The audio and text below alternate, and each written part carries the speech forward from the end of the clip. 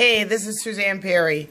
I am very pissed off at my video camera. It's not behaving nicely. So this is the fifth time or so that I've been recording tonight's video. So sorry that it's late, but it's technical difficulties.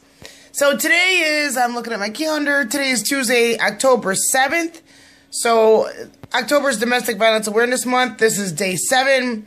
And each day I've been bringing you some info and tips and stuff about domestic violence.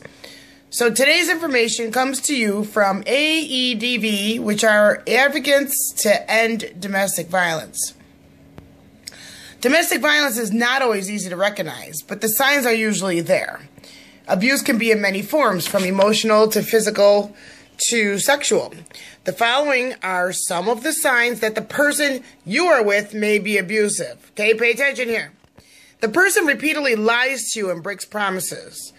The person withholds affection in order to get power over you. The person shows extreme jealousy and tries to keep you from family, friends, or interests. The person insults you or puts you down.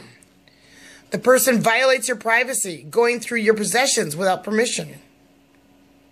The person threatens you. The person tries to control you, telling you how to dress, where to go, what to eat, what to do.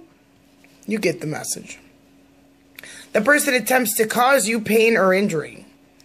The person punches, kicks, shakes, slaps, or restrains you. The person attacks you with a weapon or thrown objects. The person causes pain or injures you.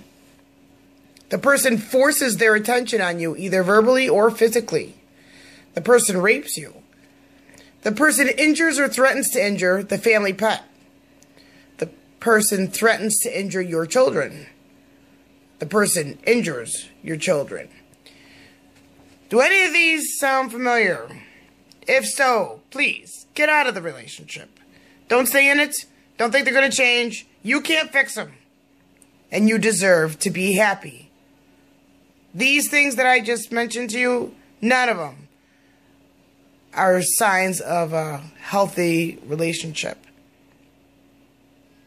So I'm Suzanne Perry, and thank you for watching. Hopefully I'll get my video camera working so that I can give you a better quality video tomorrow. Thank you. Oh, and remember, love shouldn't hurt. Ever.